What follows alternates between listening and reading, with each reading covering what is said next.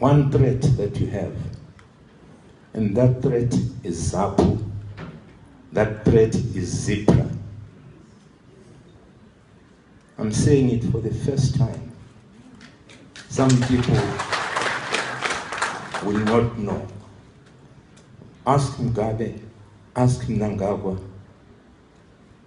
ask all those other people that I've mentioned except Masuku and Mujuru who are late.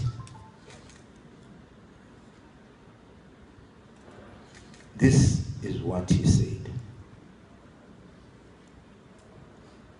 I was the only one who tried to intervene and find out what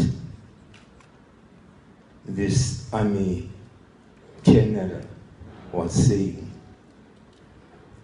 And they asked him,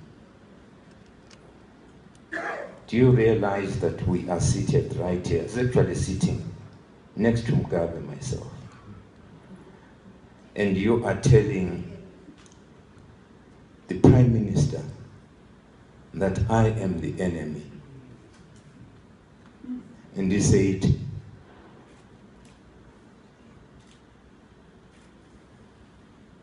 and I asked Mugabe, is this the security brief that we've come to attend?